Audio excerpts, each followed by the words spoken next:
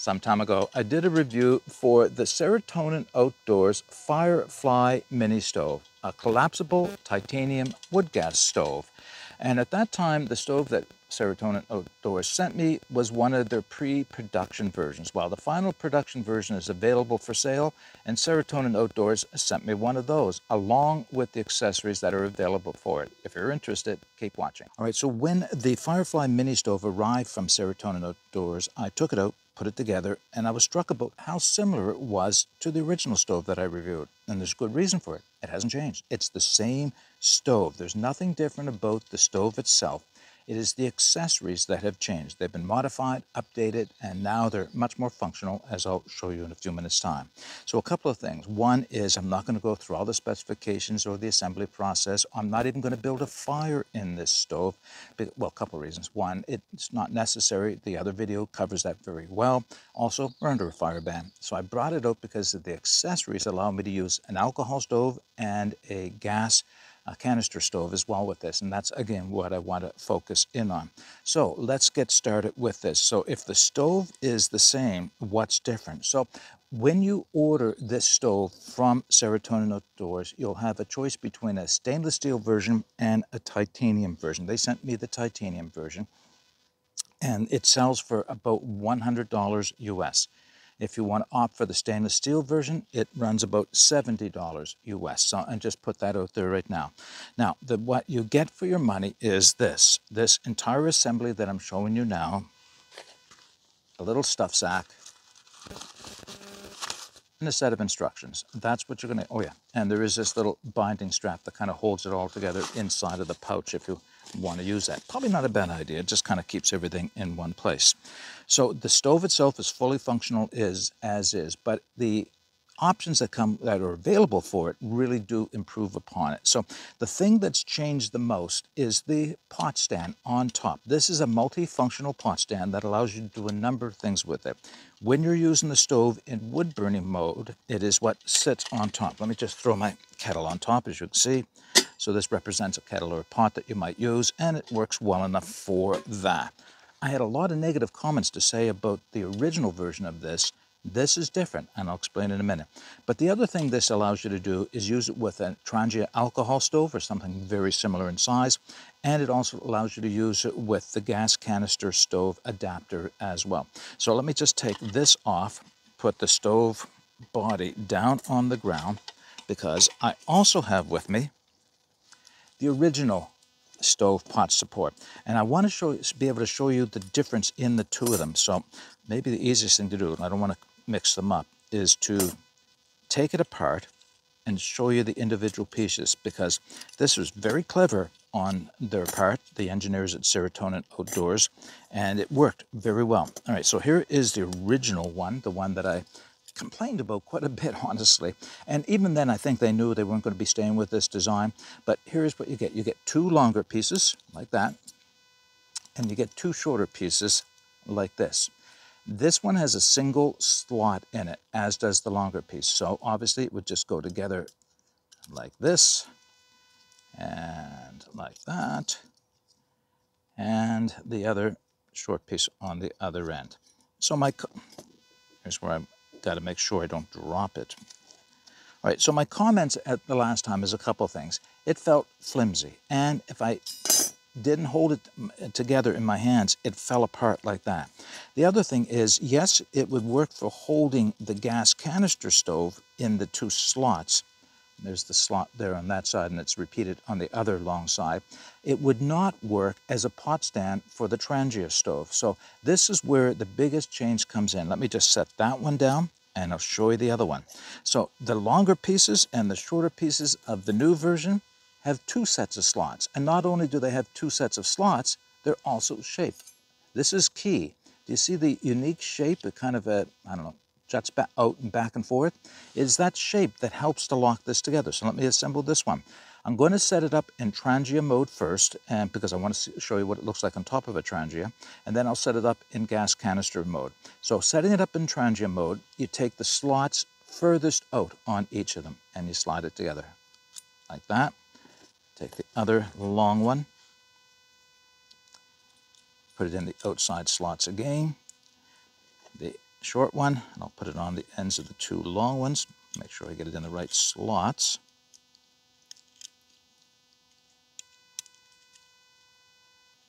I got it in all the right slots? Yeah, there you go. Okay. It still looks flimsy, but it's not. It's not going to fall apart. It's because of the curvature of those little slots that this is now holding together and not falling apart, apart on it. So that was the biggest complaint I had, is just how finicky it was, how likely it was to fall apart, now, the other complaint still exists. If you lose one of these, you're kind of out of luck in terms of using it for a pot stand. You need to have all four pieces. Now, that hasn't changed, but they do provide an option that overcomes that. So here's the first benefit, the biggest thing, the difference is, look at the two pot stands. That's where the most significant change is. Now, where is my little Trangia stove? Let me grab that, put it on the table here. So here's what's cool. I actually I just made a, uh, my cup of tea earlier with this, like this. That sits right on top of the Trangia. Provides a, well, okay, it's only about three quarters of an inch. It's not quite an inch tall. So it's going to run a little slow compared to an inch, an inch and a quarter pot, uh, pot gap. But that, you know, what speed? Speed's not relative here. What is cool though is that it's almost perfectly windproof. And the reason being is, is because there's enough ventilation all the way around. Maybe I can hold it up and show you that. There's enough ventilation all the way around to allow the, the flame and the, uh, you know, the air to pass through, but not so much that it really is heavily affected by the flame. Let me just set the kettle on top of that because this is exactly the combination I used like that. However, there is one other thing you can do with this setup, and this involves using We'll take the original one out of the way here for a moment. This is the base that the stove sets on. It would be all folded up inside of the little stuff sack, but when you open up the legs like this, now it becomes a windscreen. And this is exactly the combination I used this morning to make my, my morning tea when I got out here. And it's nice and light, so it's just providing me a bit more options. Okay, so that's option number one. The other option is to set it up as a gas canister stove. I'm going to have to grab my gas canister stove, which comes in a stuff sack. By the way, this is an accessory. Everything I'm showing you from here on in are accessories. You can purchase them if you wish. So here is the gas canister stove. But the first thing I have to do is take this four-piece pot stand apart. And again, the slots, now I'm going to be using the inside slot to make it a little bit smaller. So Start there, inside slot to inside slot. Oh, not like that though. And put the last one on. Actually, I'm going to wait to put the last one on and you'll see why. What you have to do now is, can you see the shape of the burner? By the way, look at that burner. Isn't that nice? Wide dispersed flame. Good chance you're going to get some good simmering with this, but it's the rim around the outside that allows you to lock the burner in to the little pot stand here. And now I put the last one on. Inside slot to inside slot. Yeah, it's a little finicky at this point until it's all locked down. And if you don't get it perfectly locked, which did I, what have I done? Oh, I got one of them in the wrong slot. That's the reason why it's not going together. Lay the gas burners down, Mark. Move it over. All right, so I'm back. I'm into the inside slot set all the way around. I haven't tried to see if I can do this, but will it work? Oh yeah, this will work. Which is just to flex it enough that it holds on like that. All right, so now you can see it's all set up. So let me just grab the stove again and we'll set it up to go. All right, so here we are with the gas canister stove set into the multi-purpose pot stand on top. Let me see if I can lift it out just to kind of show you. And it just rests on top like it would. The gas feed itself that would attach to the canister feeds out this little spot on the end with a little, I don't know what you call it, cover, hole. And yeah, all right, so now that's all there is to it. So there you set up for gas canister mode.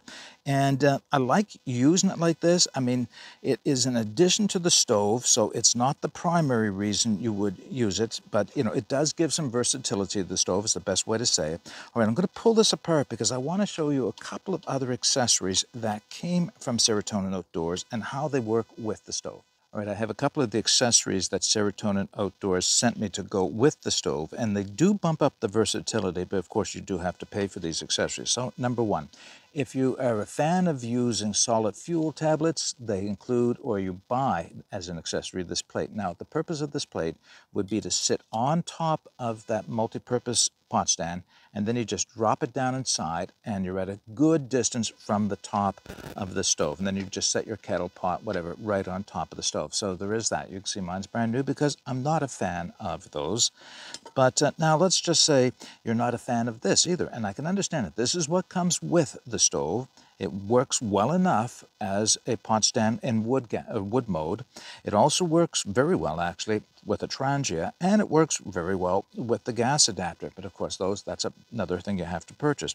But the one comment I had about using this in the previous video is that uh, beyond the fact that my original one was a little finicky and would fall apart, is that I had to wait until the wood, if I had any wood sticks sticking out or anything else, I had to wait until they were down low enough that I could put the stove on top. Now, reality is I didn't have to stuff it that full when I got the stove going. So you can put this on pretty easily when the stove is lit and starting to burn if you want to wait until it, you know, the fire is well established even nicer is with this new version, you don't have to, I couldn't have done that with the old one, uh, hold on to one corner uh, and reach up and drop it on because it would have fallen apart. So this is better and, you know, greatly, much, greatly improved in that case. And I can move it back and forth.